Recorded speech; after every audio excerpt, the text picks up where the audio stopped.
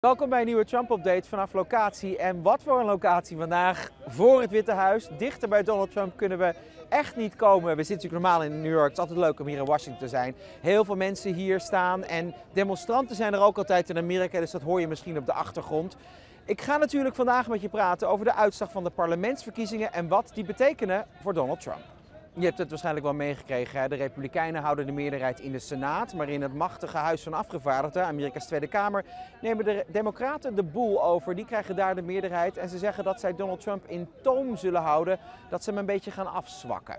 Today is more than about Democrats and Republicans. It's about restoring the Constitution's checks and balances to the Trump administration. Maar Trump zit niet in zak en as, hij verkoopt het zelfs als winst. Dan zou je zeggen, hoe kan het nou winst zijn als je een van de kamers in het parlement kwijtraakt? Maar vanuit hem geredeneerd is dat eigenlijk wat er altijd gebeurt. Als de ene partij het Witte Huis in handen heeft, zie je bij de volgende parlementsverkiezing dat de andere partij groot wint. En dat ze dus bij de Republikeinen de Senaat in handen houden is een goed teken. En de Democraten die hadden gehoopt om heel grote voorsprong te gaan krijgen in staten als Florida. Belangrijke staten bij presidentsverkiezingen. Nou, wat bleek, daar kwamen heel veel Republikeinen opdagen. Dus Trump zegt opnieuw, luister eens, die opiniepeilers die onderschatten mijn fans en dat is een goed teken voor mij. I'll be honest.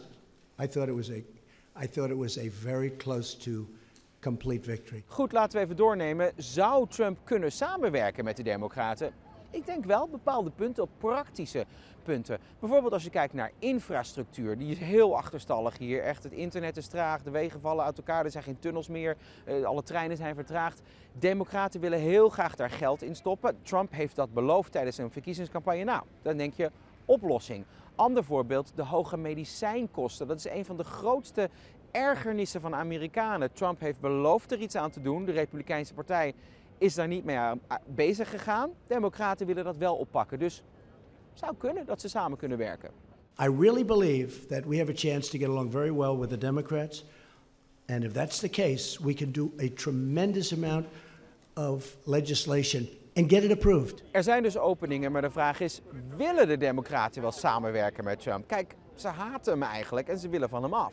Uh, ze willen ook zijn beleid dwarsbomen. Ze willen bijvoorbeeld ongedaan maken die belastingverlaging die vooral de allerrijkste Amerikanen hielp. Nou ja, dat is notabene de enige grote belangrijke wet die Trump door het parlement heen heeft gekregen. Dus daar gaat hij niet mee akkoord.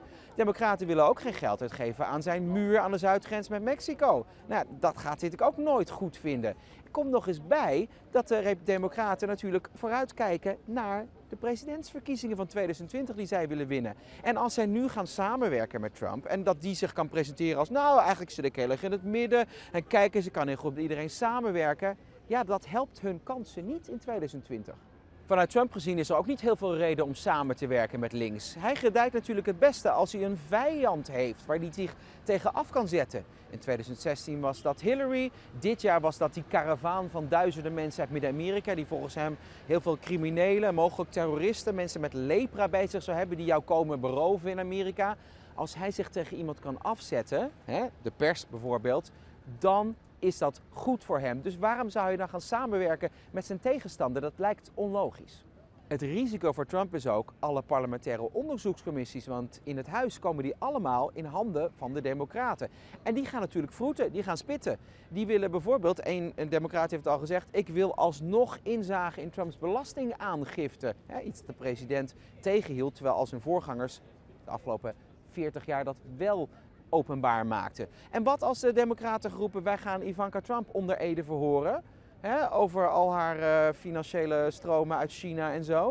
Ik denk niet dat de president daar blij mee zal zijn. If they do that, then it's just all it is is uh, warlike posture. Een grote onzekerheid voor het Witte Huis is het onderzoek van speciaal aanklager Robert Mueller. Die komt misschien voor de kerst wel met een eindrapport. Hè. De afgelopen tijd hebben we niet veel van hem gehoord. Dat vond hij denk ik niet kies om dat te doen, terwijl het land bezig is met een politieke campagne. Maar we verwachten meer aangiftes. En ja, ook een oordeel van hem hulde de Trump-campagne samen met de Russen. Dus God weet wat daaruit kan komen.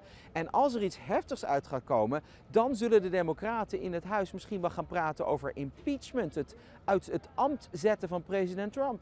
This is a investigation where many, many millions of dollars has been spent, and there's no collusion. It was supposed to be on collusion. There's no collusion, and I think it's I think it's very bad for our country. I will tell you. I think it's a shame. Amerika verkeert natuurlijk in een constante politieke campagne. Deze verkiezingen zijn voorbij. Momentje van zen.